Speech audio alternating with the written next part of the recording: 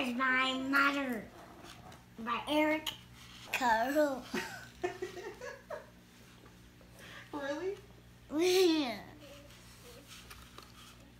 Her mother was egg, and she said, well, "I must go get my my food to eat."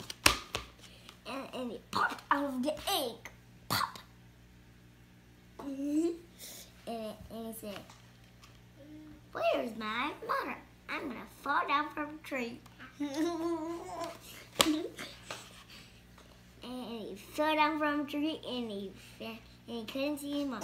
And he went and he said, "The chicken, are you my mother?"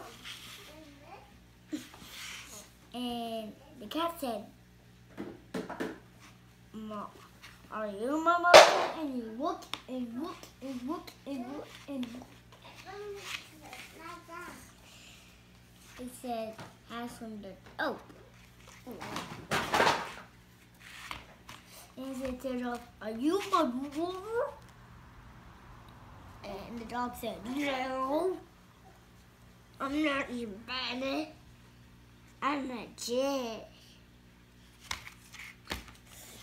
And the cow said,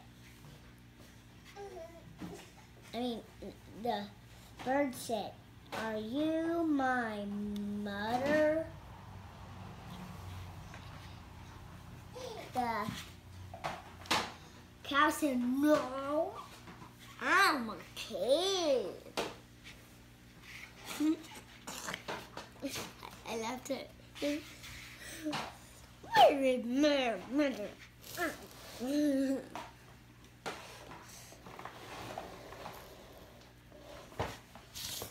And he looked at the big thing and he said, You're my mother. Hi, mother. And the, and the thing said, Snork. And it didn't talk.